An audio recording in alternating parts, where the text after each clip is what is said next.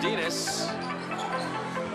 Back up top to Smith behind his back from around the free throw line. It's up and good. Robinson up top to Cardenas, fakes the three. He's got an open look now, lets it fly, and he hits.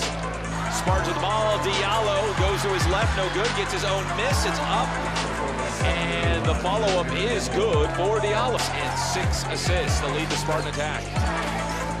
Smith inside, cutting to the cup. It's up and good for Trey Anderson. Taran Armstrong is going to have to shoot it, taken away by Smith. Great team defense there by the Sparks, resulting in a steal by Trey Smith with the shot clock winding down.